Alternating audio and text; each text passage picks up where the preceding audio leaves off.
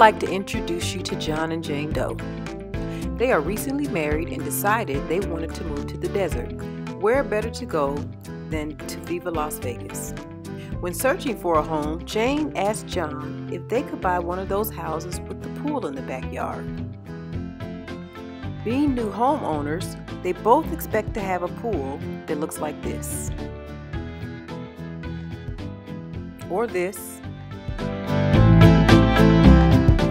Maybe on their more modest budget, it would be more like this. Yep, that's more like it. They buy the home, and weeks into their new life, their pool looks like this. They would have never gotten a house with a pool if they had known they'd have to take care of it every single day. So they decide they want to maintain their pool water, so they buy a kit like this and spend about $100 on chemicals like these. John goes to test water and has no clue what these colors mean.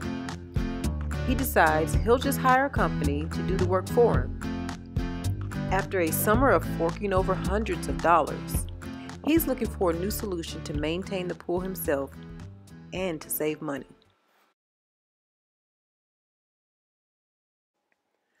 Now I will introduce to you the automatic pool balancer.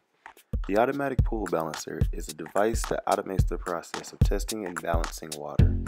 This device uses a combination of parts to collectively accomplish one goal, which is maintaining the pH and chlorine levels of water. You can see the solar panel which absorbs energy from light and charges the battery so that even on a cloudy day, the device still has power. Below are the buttons and LCD screen which assist with setting the clocks. Underneath the device, you will see three sensors. The blue sensor tests pH. The white sensor tests the chlorine. The small black sensor tests the temperature and always keeps track of it. Also underneath the, the device, there are three pumps sticking out. These pumps dispense the chemicals which are stored on the inside.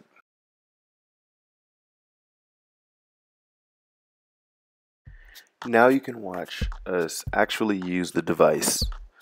So when you turn the switch on, it powers on and it prompts you to set the current time. You see that the time is currently 10:15. It's on a 24-hour clock, so you increment the hours to 22, and then you're prompted for minutes. You increment to 15, and press enter again. We will speed through the setting of the alarm for it's the exact same thing, and we'll set it for the exact same time. Now that the clock matches the alarm, the balancing cycle begins. Now you'll see the blue liquid being pushed into the water. This is the chlorine. Next you should see green, which is our base being added as well.